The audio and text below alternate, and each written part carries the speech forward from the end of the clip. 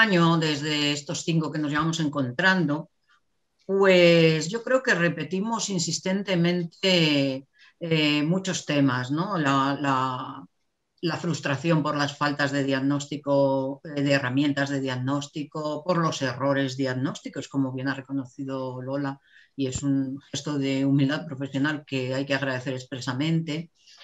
Eh, los escenarios que, que evidenciamos de exclusión social, de vulnerabilidad, de violencias visibles e invisibles que se ejercen. Y luego, bueno, pues eh, todas las consecuencias de, los diagnósticos en la edad adulta, las mochilas que llevamos las mujeres adultas autistas y cómo las gestionamos.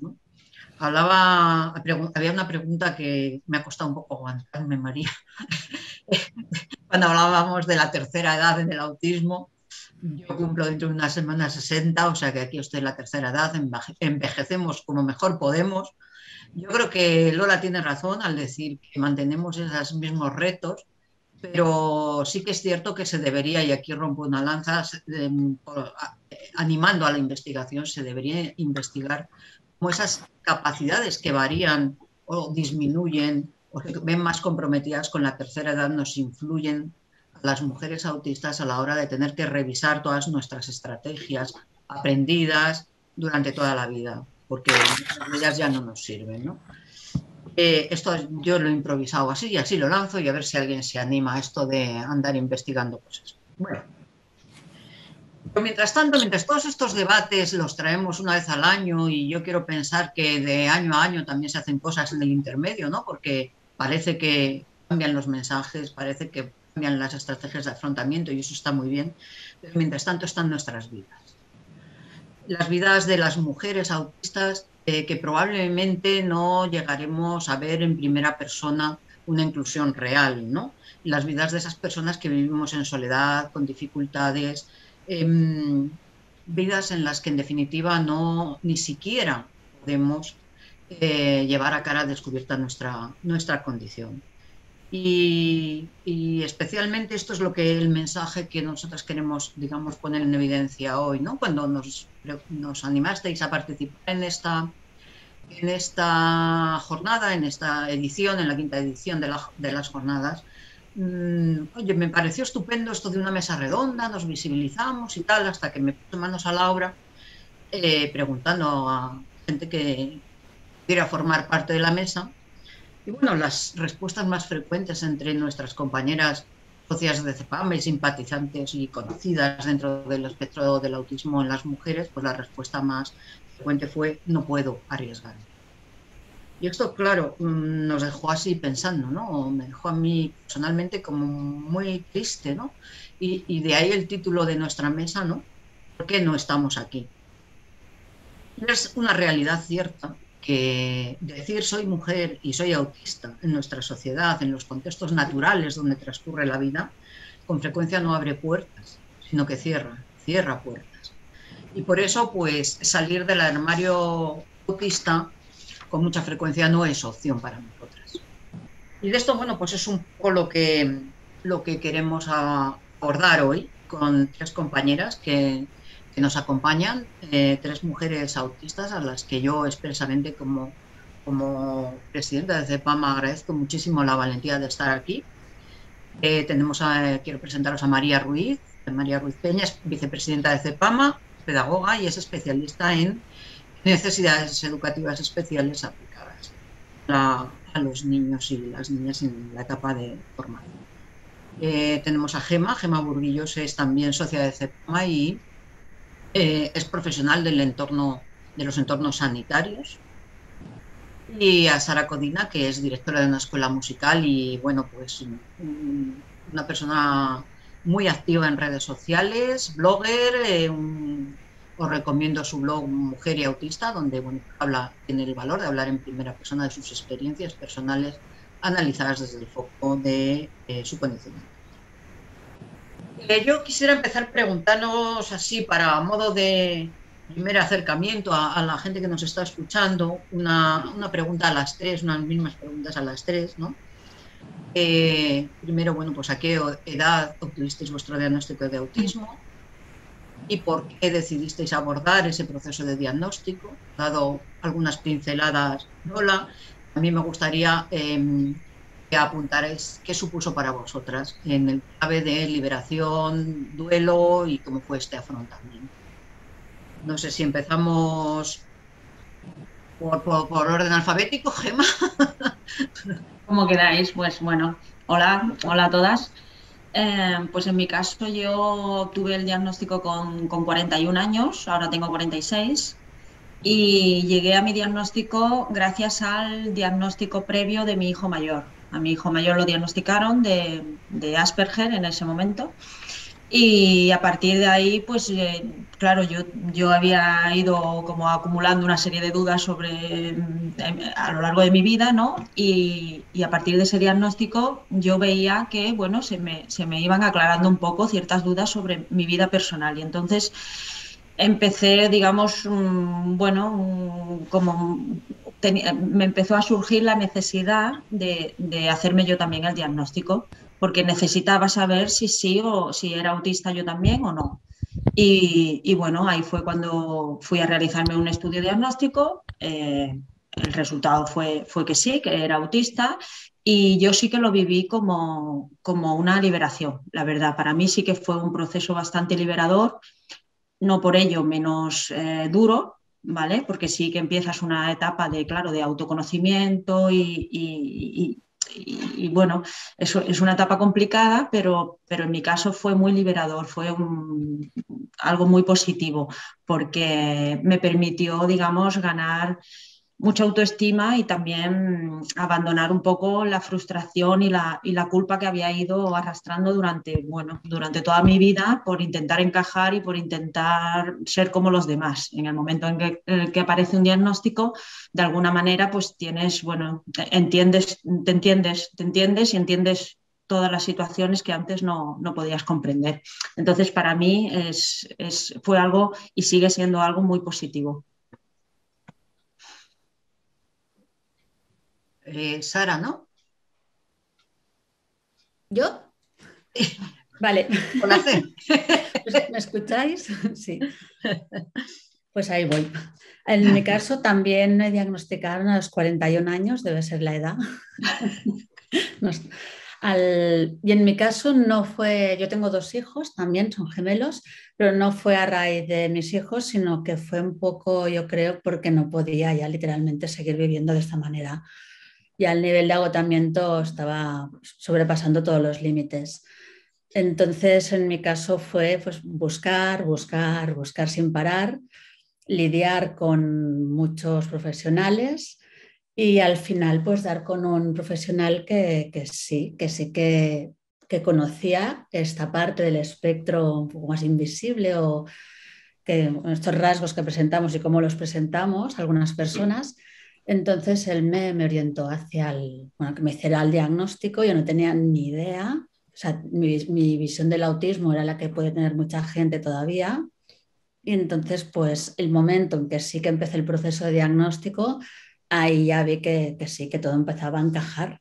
Por fin, todo empezaba a dar unas respuestas, a, bueno, al por fin como poder descargar ese saco que iba cargando con tanto peso, porque vas acumulando muchas cosas y bueno, cuando tuve el diagnóstico fue una sensación de alivio, de liberación, de, por fin haber encontrado ese lugar en el mundo que estaba buscando. Y es verdad que, que, sí, que hay este momento de alivio, de liberación, pero claro, 41 años de no saber, de buscar, de intentar explicar algo que ni tú entiendes, porque no sabes lo que te pasa, pero sabes que te pasa, lo que llevas, en, bueno, lo has pagado con, con tu salud mental. Entonces, claro, después del diagnóstico viene pues, lo que decían de darte cuenta de todo lo que ha pasado, el por qué, y es como desaprender o deconstruir para volver a empezar de una forma, yo creo, bueno, más sana y por fin, lo que decía Gema, de autoestima, yo directamente no estaba, o sea, estaba ausente. Entonces empiezas, yo creo, un proceso, en mi caso hace un año y medio, no hace mucho, pero empieza un proceso en el que yo creo que voy a llegar a quererme todo, algo que no he hecho nunca, porque siempre he sido esa que tenía que ser para los demás. Y ya está, porque me enrollo mucho si no. Muy bien, gracias, Sara. Eh, a ver si María desempata con esto de liberación duelo. María, buenos días. Hola, Carmen, ¿qué tal? Em, bueno, pues en, mi caso la edad de diagnóstico fue mm, rondando, pero un poco más joven, fue a los 36 años.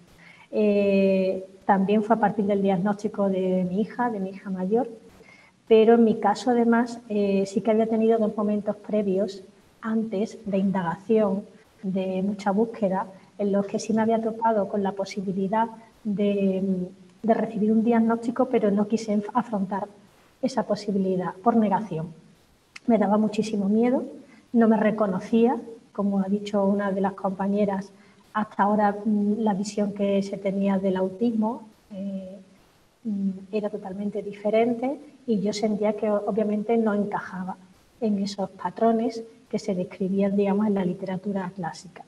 Eh, me nega tanto, eh, era tan perfeccionista con la idea de tener que eh, encontrar mm, la manera de ser totalmente igual, de pasar totalmente de ser percibida, que no tenía terror a enfrentarme a un diagnóstico que revelase algo diferente a todo el esfuerzo que había estado haciendo toda la vida. Y, bueno, em, de alguna manera eh, ese proceso de negación me ha acompañado mucho tiempo eh, hasta que por fin pues, pude tener el valor de, afrontar el diagnóstico. Para mí, al contrario que las compañeras, no fue un alivio, más bien fue eh, un chapuzón, porque sentí que todo el esfuerzo que había realizado toda la vida como que de repente no servía para nada, ¿no? O sea, todo lo que yo había querido perfeccionarme, todo lo que yo había querido mimetizarme, eh, no había servido para nada porque no había llegado a eliminar eso de mí suficientemente. Em, pero, y además pensaba que lo peor ya había pasado. Eh, pensaba que ya después de la etapa escolar, la etapa universitaria y haber conseguido un puesto de trabajo acorde, digamos, a mi nivel eh, de estudios, pues ya lo peor había pasado. Pero me equivocaba rotundamente, lo peor no había pasado, lo peor estaba por llegar. Los entornos laborales son complejos, eh, el asumir gestiones, responsabilidades, maternidad y todo a la vez es muy difícil y el desgaste que conlleva ese extenuante, em, no podía seguir eh, con, sosteniendo tanto camuflaje, no podía seguir. Así que em, finalmente tuve el valor y, y di el paso. Por mí y por mi hija, porque sabía que de alguna manera me había puesto ella en el espejo de mí misma. Y si yo no era suficiente valiente como para abordarlo, no podía hacerle tampoco a ella un buen acompañamiento.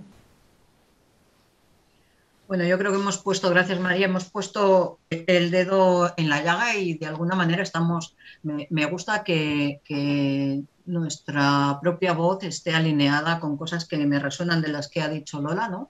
Llegamos muchísimas o llegan muchas compañeras al diagnóstico de autismo por asimilación o, tras el diagnóstico de sus hijos o de sus hijas, también mm, es un proceso de investigación propia, navegación en redes, búsqueda de respuestas y demás. Y esto es muy común a, la gran mayoría de las mujeres que alcanzamos el diagnóstico en la edad adulta. Y luego me gustaría em, reflexionar, fijaros que hemos hablado de duelo y de posiciones de duelo y de liberación ante el diagnóstico, pero en realidad quizás sean las dos caras de una misma moneda, ¿no? Nos llevan al mismo sitio, a revisar nuestra vida en clave de autismo y eh, pues, hacer ese trabajo introspectivo en el que, de alguna manera, de, autoconciencia, en el de alguna manera las mujeres autistas somos, somos especialistas en esto, ¿no? Em, eh, bueno, mm, de alguna manera, además, incluso con diferencia con respecto a nuestros compañeros eh, hombres, chicos dentro del espectro. ¿no? Y entonces, en hilo de esto, eh, una vez que ya hemos procesado y elaborado y demás, resulta que si nos movemos en las redes, nos movemos en los sitios donde se habla de autismo en primera persona, mayoritariamente, como he dicho, nos encontramos con mujeres. Y viene la siguiente pregunta, claro, también para las tres. Em, eh, yo quiero preguntaros qué os mueve a haceros visibles como mujeres autistas, teniendo en cuenta que esto es un riesgo, eh, que creéis que es una decisión sencilla, se toma por impulso, se medita, y luego también, pues, qué efectos puede haber tenido esta visibilización en vuestros contextos naturales de la vida, ¿no? en familia y contextos sociales y de trabajo. Ahora lo hacemos al revés, de la R a la B. María. Bueno, pues a ver, en mi caso los motivos para visibilizar era sobre todo un revulsivo interior enorme que tenía ante la injusticia social que suponía el que hubiese, como yo, muchas mujeres que estaban todavía muertas de miedo, escondidas, sin dar el paso, y que eso no se supiese por nadie. Eh, cuando yo recibí el diagnóstico, eh, recuerdo que me lancé de manera frenética a buscar personas como yo eh, y era muy difícil de encontrar. Me pasé muchos años buscando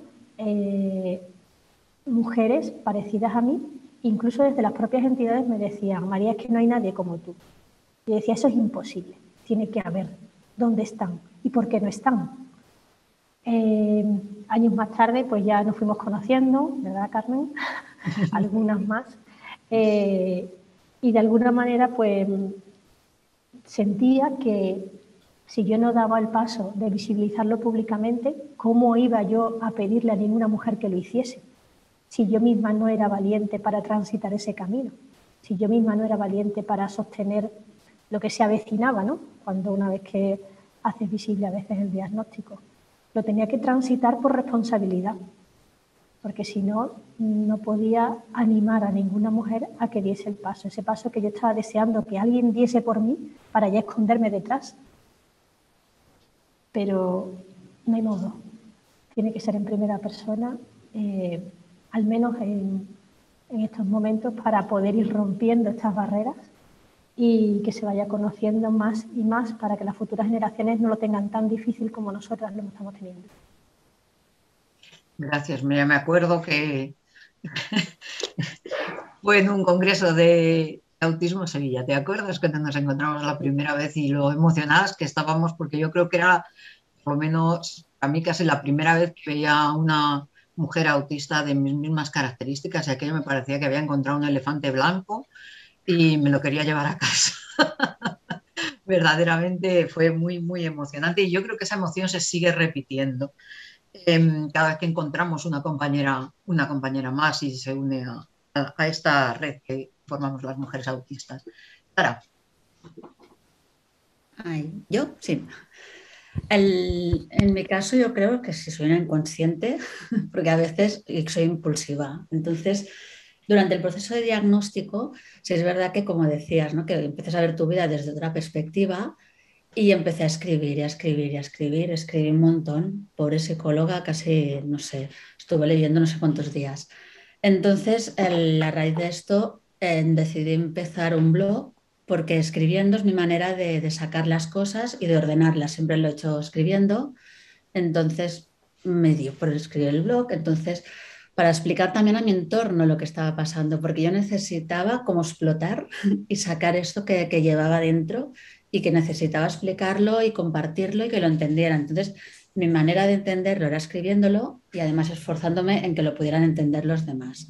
Esto fue al principio. Luego, al, sí que hice balance varias veces de si realmente merecía la pena o no exponerme tanto y explicar tantas cosas. Y bueno, en la balanza pensé que solo una mujer que pudiera sentirse identificada y encontré las respuestas. A raíz de leerme a mí o leer a cualquiera de nosotras, merecía la pena exponerse, siempre con unos límites, claro. Y por otro lado, porque creo que, o yo veo como mi deber allanar el camino a los que vienen después, en normalizar y en que se hable de autismo, o sea, que se le quite pues esta, esta visión que hay empezar a hablar de autismo y que se entienda la diversidad, o sea, que se entienda la diversidad como lo que es, porque la sociedad al final es diversa, es de naturaleza diversa, entonces la, mi objetivo y, esto es para, bueno, para que nos vean, para que sepan que existimos. Y de hecho, yo es lo hablo con mucha naturalidad en todos los entornos. y en todos, todos, literal. ¿Soy un poco kamikaze? Sí. Pero bueno, de momento, en mi caso, he tenido la suerte de que, mm, bien, ha ido bien. Y esto, el objetivo principal es esto, o sea, sabiendo el, todo el dolor que, que yo pasé o todo, todo lo que pasé hasta llegar, pues si podemos acortar este camino a otras personas, pues fantástico. Y luego si nos podemos encontrar entre nosotras, pues maravilloso, porque la verdad es que es de las mejores cosas que, que, que ha ocurrido conocer que había más gente como yo, porque realmente pensaba que era única. Gracias, Sara. Me parece interesante puntualizar, no, sé si viene a cuento o no, eh, la necesidad o la herramienta que para nosotras tan importante es el escribir eh, como ayuda a la reflexión y como ayuda a la comunicación. Y rompo una lanza para que eh, los, los profesionales, los terapeutas, los profesores comprendan que en el espectro del autismo hay muchas maneras de comunicarse y que nos tienen que dar nuestro espacio. No siempre podemos hablar, no siempre podemos explicar eh, a tiempo real, pero sí que necesitamos el, poder eh, comunicarnos por otras vías. En este caso concreto, tú explicabas la, vía de la comunicación escrita. Me, me, quería apuntar esto por lo importante que considero que es para que nos puedan entender y respetar en nuestros derechos a la comunicación, que en definitiva son los derechos fundamentales de las personas. Eh, Gema. Pues, pues yo, bueno, comparto, comparto mm, cosas con mis compañeras, comparto esa, esa parte de responsabilidad que comentaba María y también comparto la parte de inconsciencia que, que comentaba Sara. Em, a mí lo que me lleva a dar el paso, em, aparte de esa responsabilidad e inconsciencia, es en, gran, gran parte em, yo lo vivo como una obligación como madre. Yo soy mamá de un niño y una niña que los dos son TEA y yo necesito que ellos eh, asuman mm, la condición, su condición, la nuestra, con total naturalidad. Y si yo no lo hago, ellos va a ser muy difícil que lo entiendan así. Entonces yo tengo que ser el ejemplo de ese hijo y de esa hija y les tengo que transmitir pues que es lo más normal del mundo y que hace falta visibilizar y que hace falta entender que esto no es más que parte de la neurodiversidad humana, ni más ni menos. Me gustaría que cuando ellos fueran algo más mayores, pues em, entendieran así eh, el autismo y tuvieran esta misma actitud. Aún así, claro, soy consciente de, de, bueno, de todo lo que conlleva el dar un paso adelante, ¿no?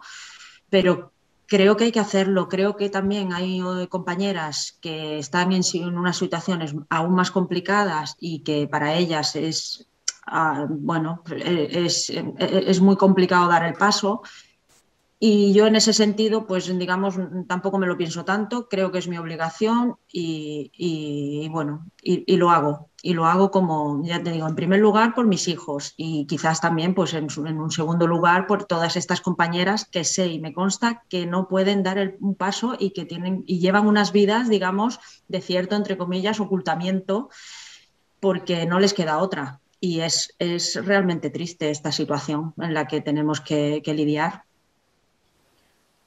Gracias, Gemma. A mí, escuchándoos a vosotras, me, resonaban eh, tres palabras. Una es redarquía. Qué importante que nos estemos constituyendo en una amplia red de apoyos entre las mujeres autistas.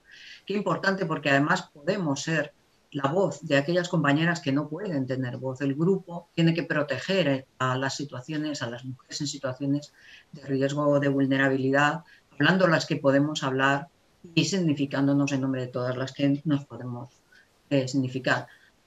Eh, la siguiente palabra era sororidad, tan importante en, la jornada que, bueno, de alguna manera em, reivindicamos en el 8 de marzo, ¿no? la importancia de cómo las mujeres nos apoyamos unas a otras, nos entendemos unas a otras y qué necesario es esto en el ámbito del autismo, como las mujeres que tenemos trayectorias de vida largas, tenemos también esa responsabilidad de eh, acoger a nuestras compañeras jóvenes que acaban de aterrizar en este mundo y no saben muy bien eh, si hay que ir para adelante, para atrás y qué va a pasar. ¿no? La tercera es la, palabra eh, importantísima, maternidad. Qué importante reivindicativo tenemos que ser las mujeres autistas, em, no olvidando nuestro papel de madres, nuestra opción a la maternidad y, cómo tenemos que cambiar este mundo para nosotros y para los que vengan detrás de nosotros. Nuestros hijos tienen que ser nuestros motores mm, eh, para el cambio. Y digo hijos e hijas, incluso aunque no sean autistas, para celebrar la neurodiversidad. Estamos educando generaciones responsables de que las nuestras generaciones, nuestros niños y nuestras niñas acepten de forma natural lo que es la neurodiversidad. Así que tres palabras súper importantes que habéis dicho y que las grabaría para el día de hoy, redarquía, sororidad y maternidad en el autismo. Y bueno, yo tenía aquí ahora unas preguntas eh, un poco más particulares para vosotras que si me permitiesen la confianza os voy a hacer. María, por ejemplo, eh, trabajas como, asesora de formación permanente al profesorado y sé que en algunas personas en tu contexto laboral cercano son conocedoras de tu, de tu condición autista. Me gustaría preguntarte, aunque sea una cosa un poco personal, eh, pero mm, para nosotras es una gran reflexión la pregunta, ¿me voy al trabajo, lo digo o no lo digo? ¿no? Y bueno, pues me gustaría preguntarte cómo fue el proceso tuyo de decidir, de hablar con tus superiores o con tus compañeros y decir, pues bueno, soy mujer y soy autista. El tema de la revelación en un entorno laboral nunca es nada fácil, es una decisión muy difícil, porque de alguna manera te enfrentas al descrédito y te enfrentas también a que se cuestione tu profesionalidad. Entonces, en mi caso, eh, lo hice cuando el reconocimiento de mi profesionalidad ya estaba, digamos, más asegurado. Y cuando algunos de esos compañeros o de esos directivos eh, me habían conocido suficiente como para que una noticia así no les afectase negativamente. Eh, es cierto que primero tuve que observar mucho y escoger a quién se lo confesaba, eh, personas que tuviesen, pues, a mi juicio, una sensibilidad especial, que tuviesen una apertura de mente, pero porque para mí era una necesidad. Era una necesidad tener apoyos naturales en mi entorno de trabajo a los que yo poder dirigirme si tenía un bloqueo con una tarea, si necesitaba que me ayudasen a gestionar el estrés que es muy intenso en mi puesto de trabajo, porque es un puesto de trabajo eh, pues, bastante exigente.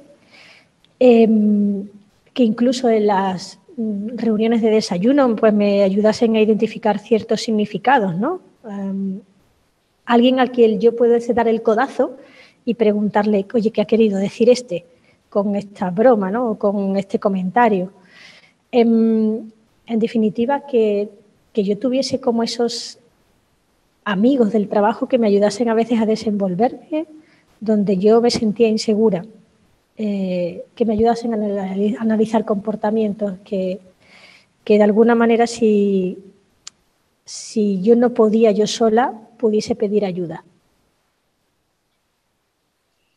Muy interesante esto que dices, María, porque yo mm, personalmente muchas veces, eh, yo lo viví, debo decir que yo lo viví y creo que lo he visto en más compañeras, el subidón postdiagnóstico, este de ahora se va a enterar el mundo de quién soy yo, me voy como pollo sin cabeza a contárselo a todo el mundo. Eh, y luego te pasan cosas que a veces no esperabas que te pasaran porque piensas que inocentemente, una vez que tú has llegado ya a, obtener un conocimiento de tu condición, el resto del mundo se va a abrir hacia ti y lo va a aceptar y lo va a entender y te va a coger con los brazos abiertos. Prudencia, cuidado con esto y me parece muy interesante tus comentarios en el sentido de eh, hablarlo en contextos seguros, analizar previamente dónde puedo hacerlo, cómo puedo hacerlo, porque el precio que se puede llegar a pagar eh, es de tener una vida más o menos autónoma a perderlo todo o casi todo y de esto también tenemos o podríamos tener testimonios en primera persona. Gema trabaja en contextos sanitarios y bueno, podríamos presuponer que este, en este en este entorno, pues eh, podríamos encontrar a lo mejor un escenario de mejor acogida, más comprensión del autismo, más conocimiento incluso del autismo. Y me gustaría preguntarte en tu entorno eh, cercano eh, tú has percibido esto en, tu contexto laboral y también vuelvo un poco a pedir disculpas por pedir este testimonio personal, que bueno, a veces no. ¿En qué contextos de tu vida eh, tú te has sentido segura para poder decir que eres una mujer autista? Bueno, a la primera pregunta te digo que no, mi entorno laboral no es un entorno laboral que conozca la condición ni que por ser sanitarios tengamos, digamos, o se tenga o se viva la condición de manera más natural o más normalizada, mm, para nada. Mm, yo te diría así a priori que en general yo afirmaría que casi todos los entornos laborales no son hostiles, en mayor o menor grado. En mi caso concreto, mm, yo el hecho de decir soy autista lo he comunicado así tal cual, o sea, tal como suena, con esta claridad, eh, lo he comunicado en lo que es en, los entornos donde yo tenía la necesidad de comunicarlo, que fueron mi entorno familiar y mi entorno de, mm, digamos, más, más, más íntimo, de, amistad. Ahí es donde yo me, he sentado y he dicho, oye, mira, me he hecho tal y resulta que soy autista. En el resto de entornos, incluido el laboral, yo vivo mi condición autista como, siempre pongo el mismo ejemplo, pero es que es así como lo vivo, lo vivo como mi, como mi orientación sexual, que es algo que no oculto, pero tampoco voy diciendo por ahí en cualquier espacio o en cualquier grupo. Entonces, una vez que hay cierta intimidad o ciertas conversaciones o, según qué, pues ahí si sale el tema o se habla de algo tal, pues no lo oculto, y lo digo abiertamente, en mi entorno laboral, pues no, es una noticia que, así a priori la gente acoja con, positivismo y con alegría. No, normalmente yo creo que, como comentaba eh, María, es, un motivo más para, bueno, para achacarte cualquier cosilla que se te pueda achacar, pues ahora es como una, excusa, la excusa perfecta eh, eh, ya lo, lo cogen por ahí, ¿no? Entonces, en este sentido, lo que pasa es que evidentemente, y más, bueno, eh, si, claro, soy una persona que ahora pues está saliendo, pues eh, hace unos días salí en el diario, o, sales en un vídeo, o sales en una mesa redonda, o sales aquí, evidentemente, pues eso, la gente se va enterando. Mm, pero lo vivo con, como comentaba Sara, yo lo vivo con toda la naturalidad del mundo. O sea, si te enteras, pues te enteras si no te enteras, pues no te enteras, pero, pero no intento tampoco no, sentarme con nadie y decir, mira, que te voy a contar una cosa. Mm, yo esta parte la evito porque no la necesito. Si, si tuviera la necesidad, pues lo haría, pero no tengo la necesidad. Entonces, a partir de que la gente, ciertas personas fuera de mi entorno más íntimo se han ido enterando, evidentemente que he tenido experiencias de todo tipo. En general, tengo que decir que la gente ha sido bastante, digamos, mm, mm, ha normalizado bastante el tema y he encontrado bastante aceptación. Pero también he tenido experiencias, pues bueno, mm, la más destacable ha sido una en la que la semana pasada me dieron el pésame. Eso me, resultó absolutamente increíble. Pero sí, sí, o sea, se, me vieron en el diario y, me escribieron para, para, decirme que lo sentían mucho. ¿Sabes? Entonces, a este grado, mm, en, este punto estamos, ¿no? Es triste, sí, pero bueno, mm, yo lo intento vivir con la mayor naturalidad, no porque, bueno, un poco inconsciente sí que soy, pero mm, sé que, puedo tener, digamos, eh, complicaciones en muchos ámbitos, sobre todo el laboral, que es uno de los que más me preocupa, ¿no? Pero bueno, mm, me puede la responsabilidad y me puede, pues eso, lo que comentábamos al principio, me puede que, tengo que ser ejemplo y no le puedo pedir a mis hijos que lo vivan con naturalidad y yo mm, vivirlo como si fuera un secreto o algo oculto o algo oscuro. Mm, yo no soy así, entonces no lo puedo vivir así. A partir de ahí, las consecuencias que surjan, pues bueno, pues ya veremos. Si hay que reconstruirse, pues te reconstruyes. no lo vivo de esta manera.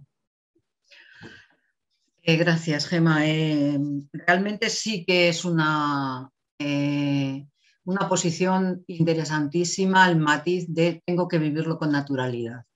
Y es que ese es, el, es realmente, a mi modo de ver, cómo se va a producir el camino para que se produzca el gran cambio social. Vivir con naturalidad, que la gente que tenemos a nuestro alrededor no nos perciba más allá de, de lo que somos y lo que hemos sido durante toda la vida, porque muchos nos conocen desde, desde siempre y de repente nada tiene por qué cambiar, ¿no? Y también un poco el decir, bueno, pues ya, ya me conoces, ¿no? Eh, aquí estoy, aquí voy a seguir estando y no tiene por qué cambiar nada, ¿no? Eh, cuando logremos que esta lluvia fina sale en la, en la sociedad, pues entonces seguramente podremos dejar a nuestros hijos y a nuestras hijas un mundo más inclusivo. Eh, Sara, em, yo quería profundizar un poco quizás en, lo que tú has apuntado antes, ¿no? en esta pulsión por comunicar, que es muy típica de las, mujeres autistas.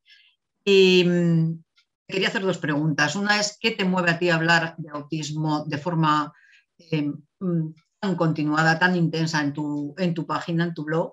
Y otra pregunta, Em, no sientes que expones demasiado quizás tu intimidad al explorar en voz alta cuestiones vitales, em, muchas que yo te sigo y te leo muy sensibles. Sí. El... Espera, la primera pregunta era, ya está, ya empieza la dispersión. ¿Qué te mueve a ti? ¿Cuál es tu motor? Sí, son un poco lo, lo que comentaba antes y también Publico mucho, es verdad, y con mucha intensidad por, eso mismo, porque soy muy intensa y yo creo que yo misma me he convertido en mi propio interés desde hace, pues desde que supe que soy autista. Entonces, cuando no estoy con la integración sensorial, entonces es como un continuo investigarme ahora a mí misma y hacer como toda esta deconstrucción para volver a construir.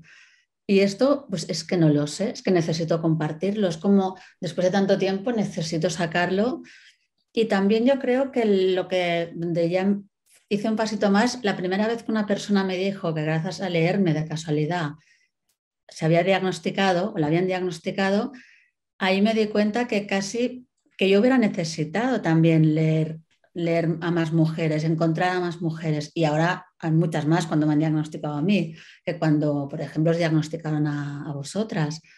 Entonces, bueno, vi como la necesidad de, que nos escuchen, de que nos vean, de que, de, que nos pongan cara, porque al principio yo empecé sin poner cara ni nombre. Yo empecé con un nombre así muy neutro y enseguida me di cuenta que no, que tenía que, dar la cara y que a ver qué pasaba. Porque claro, como le pasa a Gema, pues claro, el día que sales en la tele, ese día lo saben todos los profes, todas las familias, claro, ese día, el día siguiente dices, ¿ahora qué pasará? Nada, no pasó nada. O sea, de hecho, yo en el trabajo la, verdad es que súper bien. Entonces, bueno, yo siento esa necesidad de, explicarlo y como de ayudar a otras personas. Que yo nunca imaginé que podría ayudar a otras personas con eso que me pasaba a mí, que no sabía qué era y tanto me dolía o me molesta. Entonces, bueno, estoy en un momento de explosión total. Bien, me gusta lo que dices, para que aquellos que todavía manejan eh, los conceptos del autismo y falta de empatía vayan aprendiendo un poquito y vean que, hay que reciclarse en esto de, lo que es la empatía y, las relaciones dentro del autismo. Mm. Yo voy a cerrar, mm, vamos a intentar cerrar por ir de tiempo y, tal y dejar un poco de espacio a preguntas o a conclusiones. Me gustaría mm, también a las tres para cerrar que me dijerais en, una pincelada, ¿no? ¿Cómo veis el futuro? ¿Cómo esperáis de la, sociedad eh, en cuanto a la aceptación, el conocimiento de la mujer autista? ¿Y qué deseáis pedirle a esta sociedad eh, neurotípica, normotípica, social?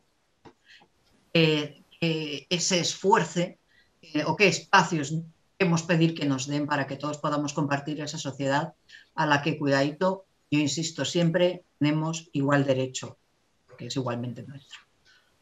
Eh, no sé por dónde empezamos, por ejemplo. Por mí, ¿no? ¿Escuchado?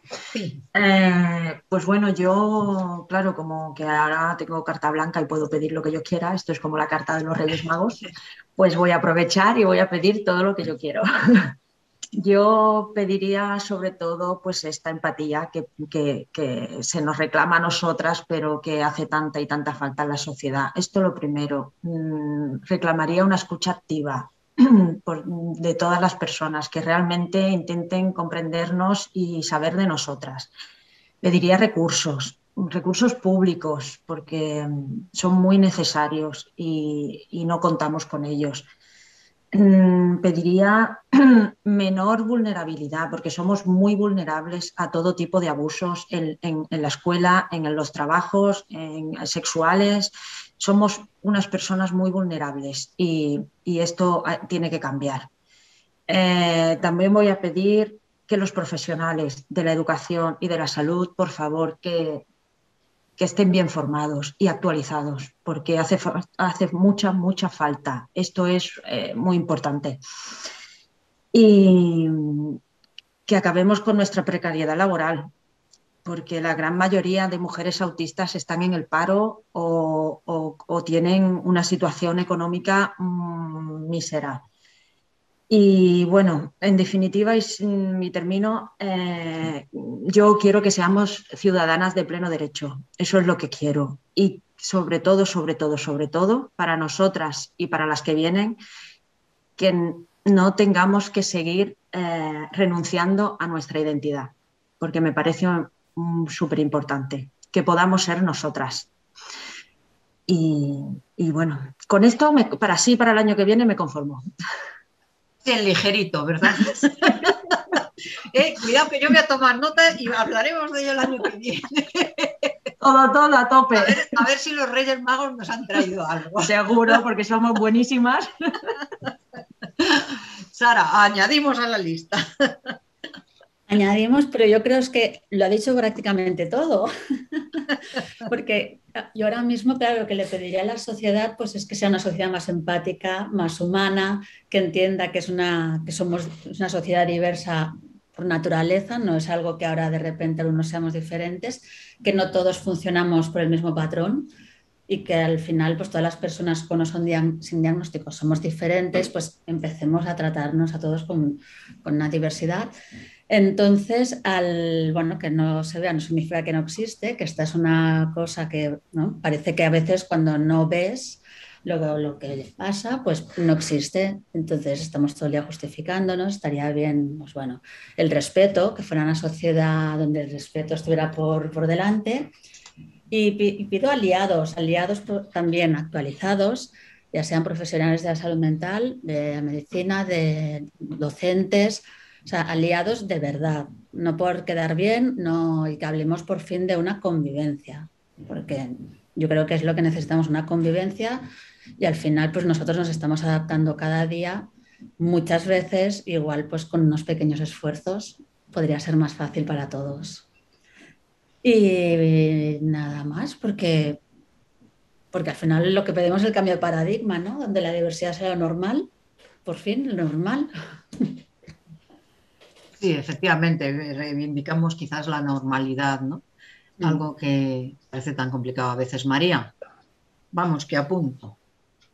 Eh, bueno, pues yo creo que mm, la evolución de la comprensión y la aceptación del autismo en femenino eh, creo que va a tener una trayectoria mm, positiva. Yo soy optimista en cuanto a la comprensión de, lo que se va a generar respecto a, a nivel social poco a poco de lo que es el autismo femenino. Es cierto que ha habido una revolución en los últimos años, ¿no? Em, pero quizás la aceptación es más difícil. Ahí veo yo quizás eh, más difícil porque de alguna manera nosotras mm, acumulamos mucho desgaste, ¿no? Y acumulamos mucho, mucho desgaste porque hay mucho enmascaramiento de, de, nuestras características, pues bien por la inteligencia, bien por las estrategias compensadoras, y todo eso lo que hace de alguna manera es que la sociedad te sobreexija, te sobreexija y no crea que realmente tienes las necesidades que tienes.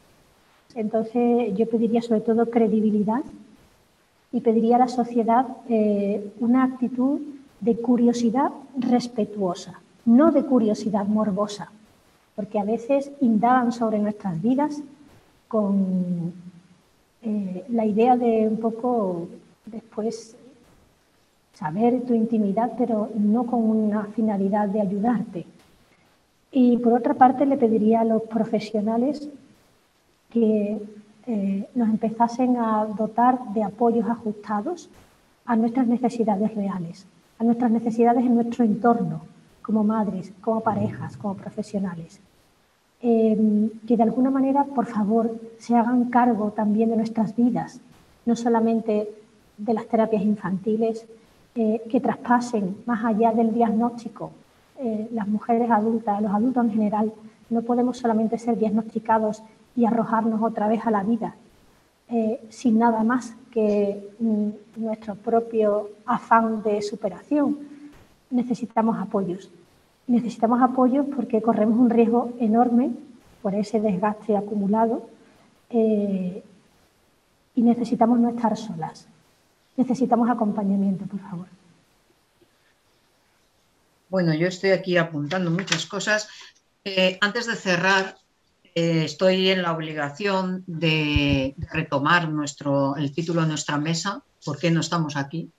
Y tengo algunas compañeras que no han podido estar hoy aquí, porque todas no pueden ser visibles, y alguna nos cuenta que no puede estar aquí por eh, presión hacia sus hijos, ya que no puede afrontar esa devaluación a priori que tendría y ese riesgo eh, al decir su diagnóstico. Los diagnósticos que, llevan un estigma, que conllevan una etiqueta de discapacidad, a veces nos sitúan en percepción de menor valor en nuestros contextos naturales y eso implica ponernos en situaciones de riesgo. Esta compañera no puede hablar en primera persona porque su eh, momento vital le haría poner en situación la seguridad y la estabilidad de sus propios hijos. Otras compañeras hablan de em, que quieren que se visibilice y que se hable eh, de la negación de la condición, de cómo la sociedad nos nega la condición muchas veces eh, simplemente diciendo, si es que no pareces autista, eres lista, ¿cómo vas a ser autista? Trabajas, tienes hijos. Bueno, eh, eso es una violencia contra nosotras que tenemos que denunciar y ante la que nos tenemos que proteger a veces, pues eh, necesariamente ocultando nuestra condición. También el aislamiento, no todas las mujeres autistas están en grandes ciudades donde pueden encontrar a lo mejor unas mayores redes de apoyo y de comunicación. Hay mujeres autistas en sitios muy pequeños, en pueblos, en poblaciones pequeñas, donde decir soy autista implicaría estar en boca de prácticamente la totalidad de tus relaciones. ¿no? Eh, ¿Qué más cosas? Eh, el riesgo de decir soy autista y perder las pocas eh, relaciones sociales que pueden servir de apoyos. ¿no? Y también, bueno, pues la frustración cuando se intenta dar ese paso y a lo mejor en entornos donde comentaba yo antes, como pueden ser los sanitarios, donde esperas encontrar una mayor profesionalidad, frustrarte al encontrar que nadie sabe lo que es el autismo, que niegan la condición autista, incluso los profesionales que te tienen que dar apoyo y entonces aislarte y, retraerte de ejercer derechos como el derecho a la, a la salud. Y voy a cerrar con, algunas de las peticiones, con tres peticiones que habéis hecho que a mí me parecen muy importantes. Una, mm, reivindicamos, y yo creo que las podemos hacer nuestras en este Día de, la Mujer, reivindicamos las mujeres autistas, reivindicamos ser ciudadanas de pleno derecho. Queremos decir alto y claro que no se nos identifique con los paradigmas, que no se vea como decía Sara, no significa que no exista. Y también eh, recojo el apunte que nos hacía María, el de mandar a la sociedad y a los profesionales una actitud de curiosidad desde el respeto y no desde esa morbosidad de ven que te voy a enseñar, como dicen, eh, ven que te voy a enseñar aquí a un ejemplo, un caso. Y bueno, pues em, vamos a cerrar con esta frase. Eh, reivindicamos, tras el diagnóstico, no seamos arrojadas sin más a la vida.